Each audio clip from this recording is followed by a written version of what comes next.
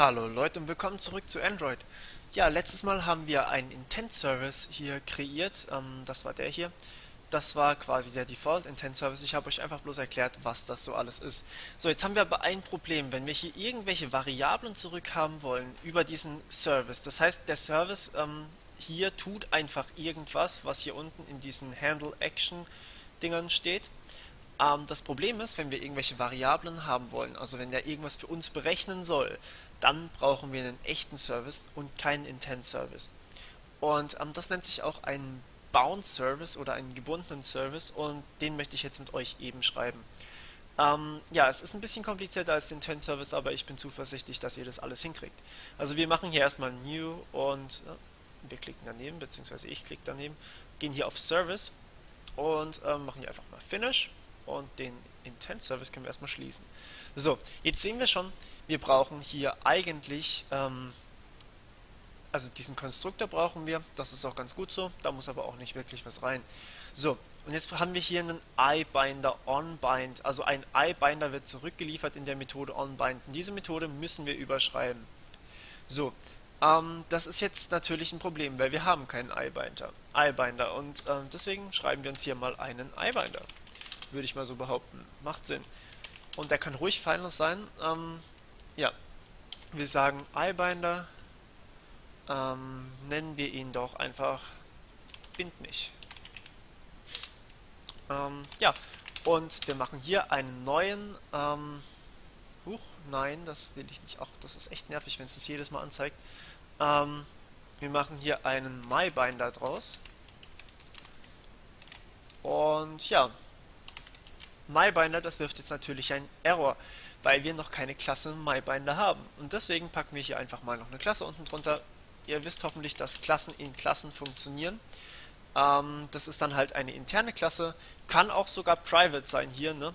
Dann kann man es von nirgendwo anders äh, referenzieren und auch kein Objekt davon erstellen. Das heißt, es würde dann nur intern gehen, was aber nicht funktioniert, weil wir brauchen die Klassen noch außerhalb. Zeige ich euch nachher. Gut, und dann haben wir hier natürlich die Klasse MyBinder. Muss irgendwie funktionieren. So, und upsala, die extended jetzt eben von der Binder-Klasse. So, und die Binder-Klasse wiederum ähm, muss ich importieren. So, perfekt. Also Alt Enter drücken und sie wird automatisch importiert, wenn es so rot ist. Hm, manchmal wird es auch komplett automatisch importiert. Okay, und das Einzige, was wir jetzt hier machen müssen, ist, wir geben den Service zurück in einer äh, Methode, die nennt sich getService. Die muss so heißen. Ähm, ja. So, das, was wir hier... Upsala, das waren die falschen Klammern. Das, was wir hier drin machen, ist, wir liefern einfach nur unseren Service zurück. Das heißt, den MyService, den wir kreiert haben, und den finden wir unter der Klasse ähm, MyService.this. So, mehr geben wir hier gar nicht zurück und mehr muss diese Klasse auch tatsächlich nicht können, außer diese eine Methode hier bereitstellen. So, damit haben wir unseren Binder und ähm, ja, logischerweise geben wir dann hier in der onBind-Methode unseren Binder zurück, nämlich den bind mich am Return bind mich. So, und jetzt sind wir hier schon fast fertig. Jetzt zeige ich euch aber zunächst einmal, wie es hier in der ähm, Java-Datei für, ähm, also nicht den Binder, sondern ähm, die Activity äh, aussieht. Ach, apropos, ähm, ich habe hier ähm, nichts wirklich geändert. Das ist einfach aus dem letzten Beispiel das ganze Exemplar hier, also ein stinknormales Hello World. Ähm, letztes Mal konnten wir halt keine Daten oder sowas abrufen. So, hier brauchen wir jetzt noch ein paar Sachen. Ähm, ich kommentiere das hier mal aus, weil das brauchen wir nicht. Das war für den Intent Service. Und ja, wir brauchen hier in dieser Klasse erstmal einen Service. Und zwar einen MyService, nicht irgendeinen, sondern den, den wir selber geschrieben haben. Nämlich der aus dieser Klasse. Logischerweise, macht ja irgendwie Sinn. Oder? Gut, und ähm, den nennen wir einfach ServeMe. Und setzen den aber noch nicht. So, jetzt brauchen wir vielleicht am besten noch eine Variable, ähm, die uns sagt, ob wir gerade gebunden sind.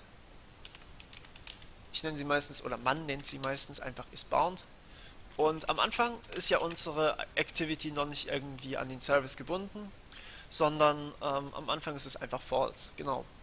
So, und ja, was wir jetzt hier drin machen, ähm, wo sind wir? OnCreate-Methode hier. ähm, wir wollen hier drin natürlich diesen Service aufrufen, in der onCreate-Methode gleich, denn wir wollen uns gleich mal an den Service verknüpfen. Also wir sagen, wir verknüpfen gleich am Anfang diese Activity mit diesem Service, ähm, damit, ja, damit die zwei eben für immer miteinander verknüpft sind und diese Activity die ganze Zeit von dem Service hier irgendwelche Sachen abfragen kann. Okay. Ähm, übrigens, ein Service wird automatisch zerstört, wenn ähm, die Activity ihn nicht mehr benötigt, also wenn sie sich selbst an, unbound hat, sozusagen. Ja. Ähm, also zum irgendwelche Sachen extern aufrufen brauchen wir wie immer einen Intent. Das kennen wir jetzt schon zu Genüge. Wir schreiben hier einfach Intent, äh, New Intent und sagen, this ist die Activity, die es aufruft und my service, das wollen wir aufrufen. Wir brauchen hier noch Punkt Class und fertig. So, ähm, das war der Intent. Und wir packen diesmal keine Extras oder sowas rein. Geht natürlich auch, aber das wollen wir nicht. Wir sagen hier einfach Bind Service und packen den Intent rein. Sagen hier, okay, wir brauchen eine Connection. Service Connection sehen wir ja hier, nennt sich Con. Naja gut, haben wir noch nicht, müssen wir noch machen. Ähm, und hier sagen wir einfach Context. Äh, Ignore Security, hört sich gut an. Würde ich sofort wählen. Klar. Ignore Security. Warum nicht? Hört sich sehr sicher an. Ähm, nee, wir sagen Context.bind ähm, bind auto create. Da ist es. War gerade irgendwie zu blind, es zu finden. So, das Einzige, was wir jetzt noch brauchen, ist hier eine Connection. Und diese Connection, die liefert uns folgendes.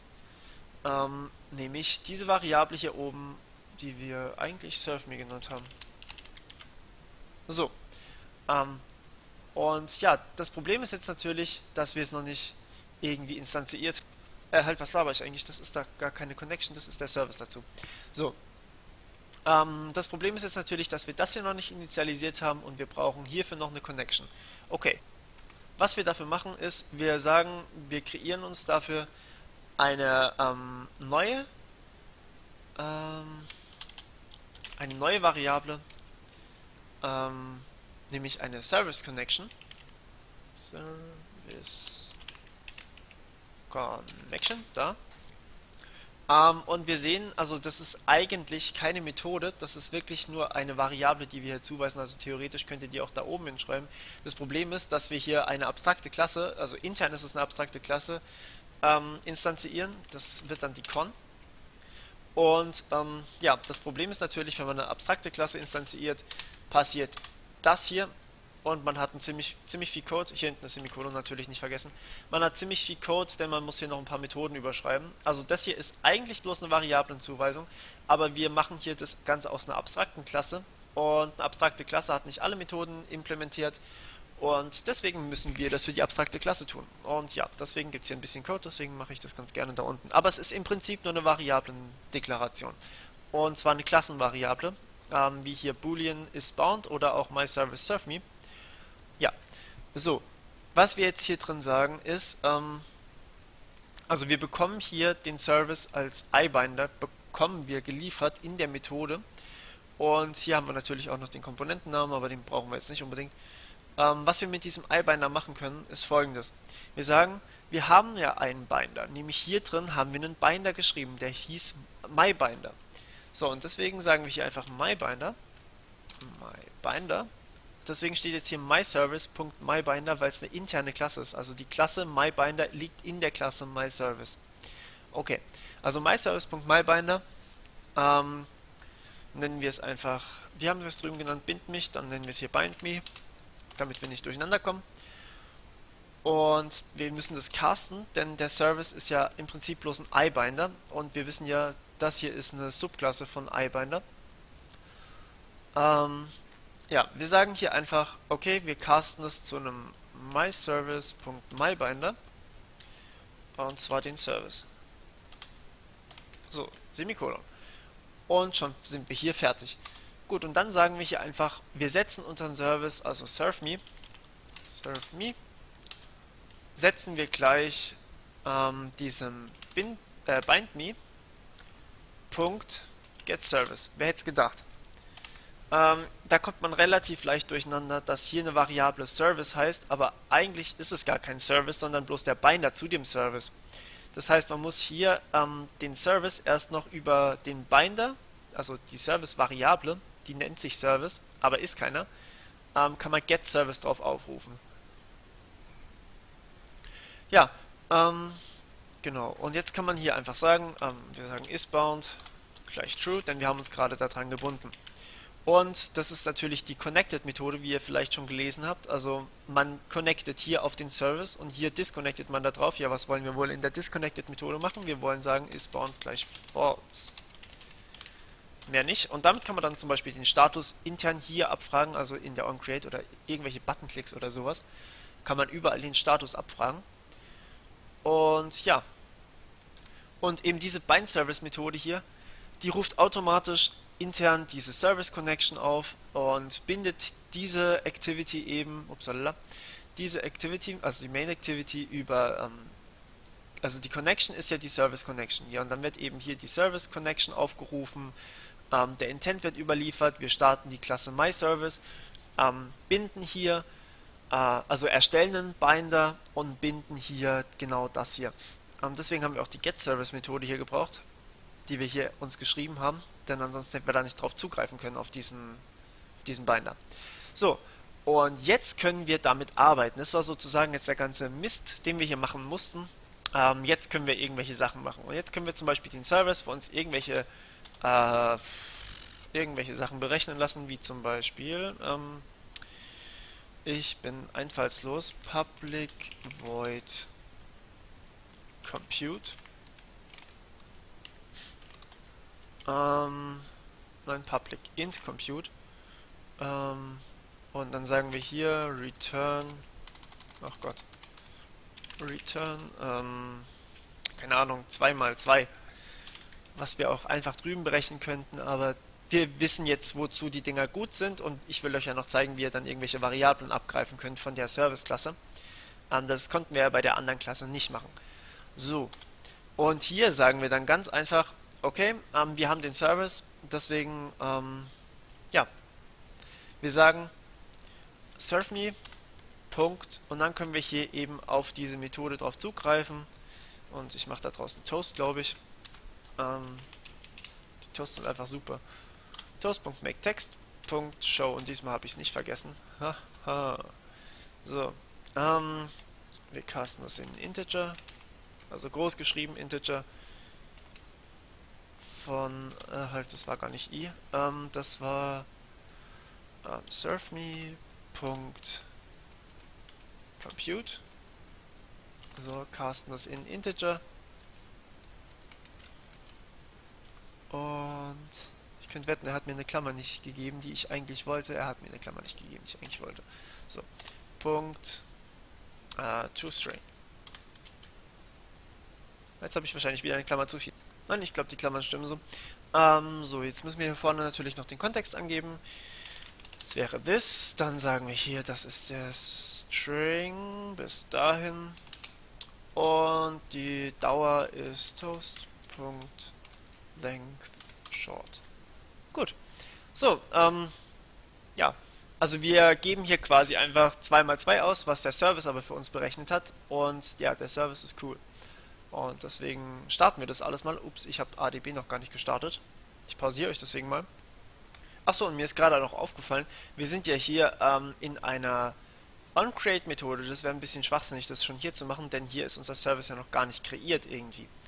Ähm, deswegen würde ich sagen, wir packen uns hier einfach mal, keine Ahnung, wir geben dem hier eine ähm, eine On-Click-Methode. Das heißt, wir können auf das Textfeld draufklicken sagen hier einfach, wie nennen wir sie? Ähm, Show. Ja, SWO, genau. Show meinte ich natürlich. Ähm, okay, das ist eine Public Void Void, habe ich gesagt. Ähm, nennt sich Show. Ihr habt eine View und ähm, als Eingabe. Und ja, hier machen wir dann das hier und gut ist. So, der Service muss ja auch erstmal Gelegenheit bekommen, sich zu binden. Und der Service muss auch erstmal erstellt werden und der wird aber in der onCreate-Methode erstmal gebunden und danach, äh, ja, können wir hier die Show-Methode aufrufen. Man muss erstmal hochgefahren werden sozusagen. So, und ich habe das jetzt mal für euch gestartet. Ähm, es wäre ja langweilig, wenn ihr da immer zugucken müsstet. Und jetzt haben wir hier die On äh, die On-Click-Methode hier drauf und wir klicken hier drauf und dann steht hier 4. Und das wurde eben von unserem Service berechnet und nicht von uns. Das heißt, äh, merkt euch, der Service kann jetzt hier irgendwelche Berechnungen durchführen und ihr könnt dann irgendwelche Werte drauf abfragen. Das konntet ihr bei dem anderen nicht, der konnte nur irgendwelche äh, Sachen im Hintergrund machen. Dafür läuft der hier nicht in einem eigenen Thread. Achtung! Ähm, das Problem bei Threads, äh, bei nicht in eigenem Thread laufenden Services ist, das heißt, wenn ihr hier irgendwelche komplizierten Berechnungen drin habt in diesem Service, dann kann es passieren, dass eure Activity freeze, wie wenn ihr das einfach ausgelagert hättet. Das heißt, ähm, ihr müsstet jetzt in der Compute-Methode vielleicht, äh, bevor ihr die Compute-Methode hier aufruft, vielleicht noch einen eigenen Thread für die Compute-Methode berechnen. Zum Beispiel, wenn irgendwie, äh, keine Ahnung, irgendwas richtig Langes berechnet wird oder sowas. Dann braucht ihr dafür einen eigenen Thread, also hier drum einen neuen Thread machen, den starten und ähm, in dem Thread, in dem neuen Thread dann eben das hier ausgeben, wenn es so lange dauert und dann kann eure App gleichzeitig noch weiterlaufen, ohne dass die Berechnung alles pausiert und ähm, eure App freest nicht. Gut, ähm, jetzt habe ich viel zu Threads gesagt. Äh, falls ihr nicht wisst, was ein Thread ist oder wie ihr Threads einsetzen könnt, dann schaut euch meine Multithreading-Videos an. Die funktionieren ziemlich genau gleich. Alles klar. Ähm, ja, wir hören uns beim nächsten Mal und bis dann. Ciao, ciao.